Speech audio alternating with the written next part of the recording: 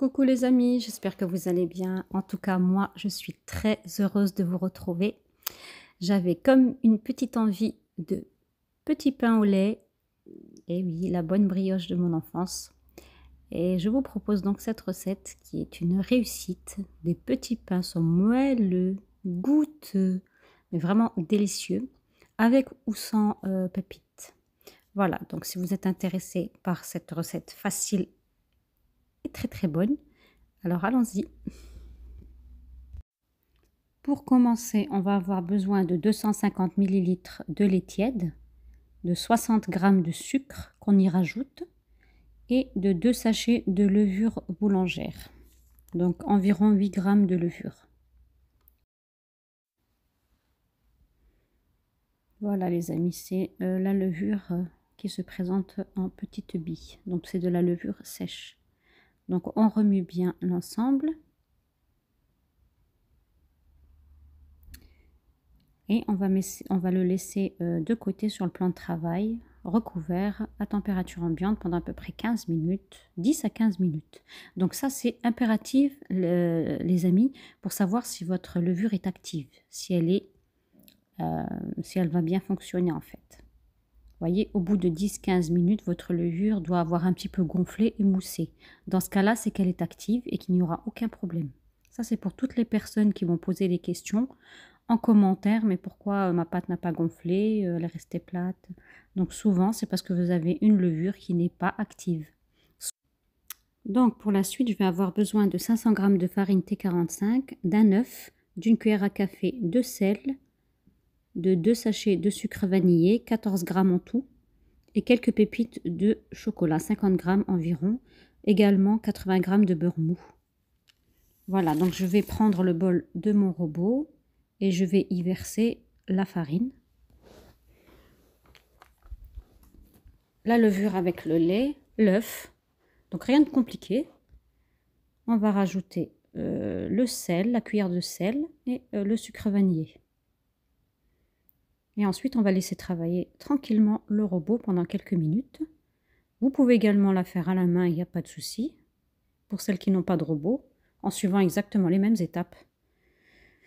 Voilà, alors on va pétrir pendant quelques minutes jusqu'à ce que notre pâte se décolle complètement du bol et bah, qu'elle forme une belle boule.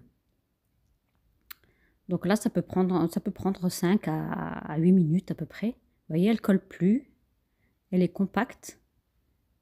Donc là, je vais pouvoir rajouter progressivement le beurre mou. Donc là, c'est impératif, il faut vraiment qu'il soit mou. Pour que le beurre s'intègre bien à la pâte, il faut qu'il soit à température ambiante. Vous voyez, je vous le montre, il est mou.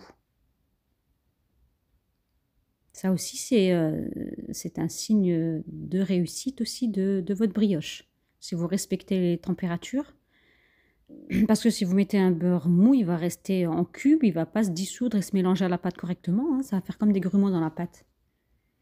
Donc vous voyez, bon là j'ai accéléré uniquement l'image, hein, mais pas le... Là j'ai laissé quand même en vitesse moyenne. Hein. Et donc avant de rajouter du beurre, j'attends que le premier beurre ait été euh, intégré à la pâte. Donc là c'est pour la nécessité de la vidéo pour qu'elle soit pas trop longue, j'ai un peu accéléré l'image. Donc là, j'arrête. Au bout d'un moment, je vais racler un petit peu les bords. Et hop, on y retourne.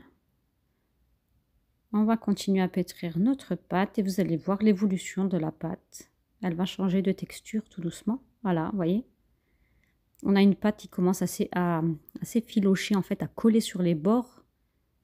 On voit qu'elle adhère un petit peu au bord, mais, euh, mais sans vraiment coller. Voilà, alors là, ça fait une belle euh, pâte bien lisse.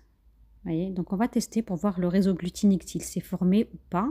Donc on va tirer un petit morceau de pâte entre nos doigts. Et si la pâte ne se brise pas, c'est qu'elle est bien pétrie. Donc là, pour nous, c'est terminé, c'est bon.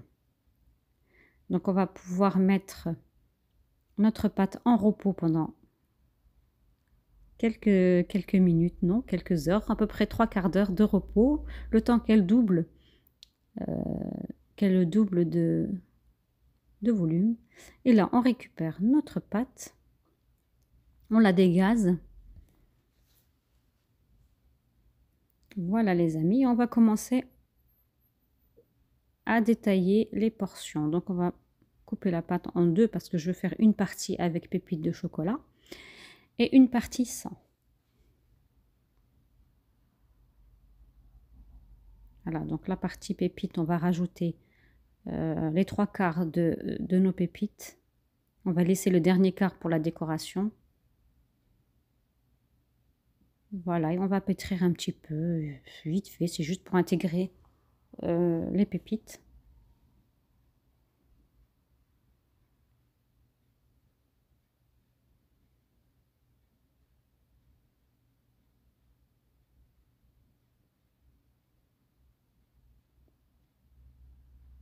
Voilà les amis, dès que vous voyez que vos pépites commencent à traverser, à se voir en trans, euh, voilà, elles traversent la pâte, en transparence, c'est bon.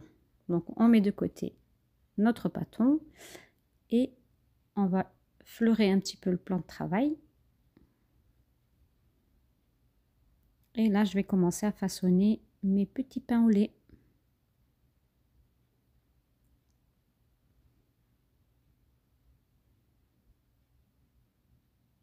Ça donne des petites brioches individuelles, c'est sympathique. Pour les enfants, euh, pour les goûter, c'est franchement pratique. Donc voilà, donc on, divise par 4, ensuite euh, par 8, etc., etc. pour avoir des, portions à peu près euh, identiques. Donc pour les personnes qui aiment bien avoir quelque chose de bien carré, bon, elles peuvent prendre une balance. Hein. Mais bon, tant donné que c'est que pour les enfants, il n'y a pas besoin d'être d'avoir autant de rigueur. Voilà, donc on va prendre à chaque petite portion, vous voyez, on l'étale un petit peu juste avec les doigts, hein, et hop, on l'enroule. Ça, c'est pour la rendre un petit peu euh, filante. Et on la refaçonne en boule. Voilà, les amis, rien de compliqué. On fait une belle petite boule. Et voilà. Et donc là, on a préparé en amont un plat avec euh, moi, c'est une grille à pâtisserie hein, avec un, un style pâte dessus. Voilà, donc on va procéder de la même manière pour toutes les boules.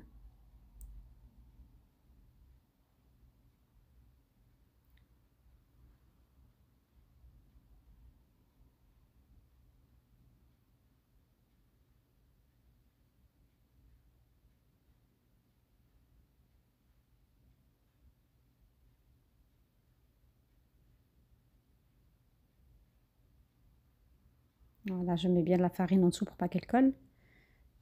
Et voilà, on arrive à la dernière brioche. Donc voilà, et à la fin, je rajoute quelques pépites pour euh, l'esthétique, pour la gourmandise aussi.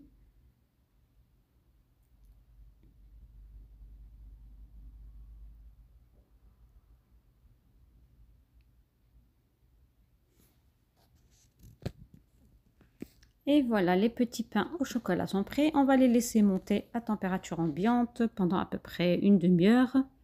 Ou bien dans un four, euh, dans un four chauffé qu'on aura éteint. Il ne faut pas que ce soit trop chaud, sinon vous allez désactiver votre, levure, encore une fois, et euh, il n'y a rien qui, montera. Donc euh, c'est un four éteint, mais tiède, tiède, très tiède.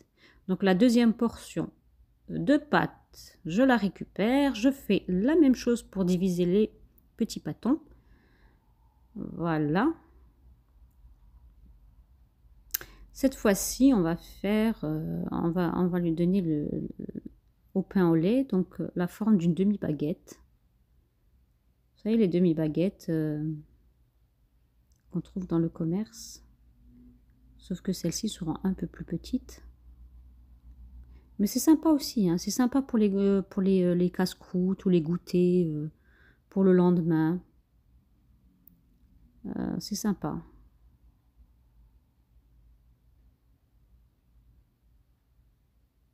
C'est un pain très moelleux pour les sandwichs. Euh, moi, j'aime bien. Ça passe mieux que de la baguette. Voilà, donc on va commencer à étaler notre, notre petite portion de pâte. Donc là, on va l'étaler sur la longueur lui donner une forme un petit peu rectangulaire. Voilà. Et si vous avez une farce à mettre, si vous voulez les farcir, c'est à l'endroit où je vous ai montré qu'il faut mettre la farce. Moi, je les laisse simples. Donc, la partie supérieure, la dernière partie, le dernier tiers supérieur de la pâte, on va commencer à, à la trancher comme ça. Comme vous voyez sur l'image, on tranche. On va faire des, des petites fentes. Vous allez comprendre pourquoi. Donc là, on commence enrouler notre petit bâton sur lui-même. Et voilà.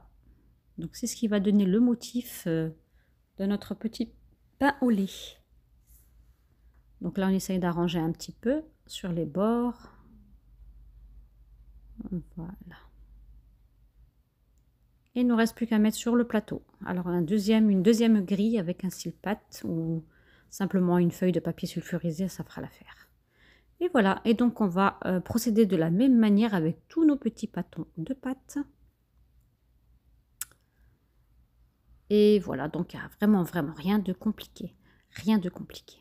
Après, vous pouvez faire euh, le dessin que je suis en train de faire là, vous pouvez le faire simplement en tranchant, en donnant des... Euh, un peu comme la baguette, en tranchant le, la brioche par-dessus avec, avec un couteau très, très aiguisé.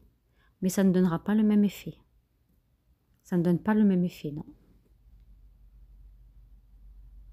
Le dessin, on le voit mieux, mieux, mieux quand on le, fait de cette manière-là. Oui, voilà, le soleil vient nous rendre visite. Voilà, les amis, donc là, j'ai terminé tous mes pâtons de pâte. Donc, pareil que pour le premier plateau, je vais mettre un torchon propre par-dessus et laisser monter environ une demi-heure. Au bout d'une demi-heure, donc on a préchauffé notre four à 180 degrés et on va cuire nos brioches environ, bon, toujours à surveiller bien sûr, hein, environ un quart d'heure, 20 minutes. Mais tout dépend des fours, donc restez bien devant votre four. Le mien est assez puissant, 15 minutes était largement suffisante. Voilà, donc là, on va prendre euh, un, jaune d'œuf avec un petit peu de lait et on va dorer nos petites pâtes. Et voilà, on va enfourner donc pendant 15 minutes et voilà le résultat. Donc bien doré, bien gonflé, magnifique. Juste magnifique et juste gourmand. Donc, euh, mes petits pains au lait ne sont pas restés longtemps, comme d'habitude. Et regardez la quantité que j'ai eu, pas mal, hein pour un bon goûter. Voilà les amis, j'espère que je vous montre de plus près, voyez, regardez les petits... Ça, ça, peut, on peut les faire un peu plus grands pour en faire des demi-baguettes, comme je vous disais tout à l'heure. Faire des sandwichs super, super moelleux. Voyez, regardez, voir ça. C'est moelleux à souhait. Et à l'intérieur, elles sont délicieuses, regardez. La mie de pain comme elle a erré. Puis les petits chocolats dedans, c'est juste... Hmm. voilà les amis, bah j'espère que vous avez apprécié cette vidéo, euh, qu'elle vous aura été utile, que vous allez la retenter. Franchement, c'est pas compliqué de faire plaisir à nos petits bouts. Euh, n'hésitez pas, euh, n'hésitez pas à partager, à commenter, bien sûr, ça me fera toujours plaisir. Dites-moi aussi d'où vous me regardez. Ça, ce serait un grand, grand, grand, grand plaisir pour moi de savoir d'où on me regarde, euh, de quelle partie du monde. Et maintenant, il ne me reste plus qu'à vous dire gros bisous et abonnez-vous surtout. Hein ciao, ciao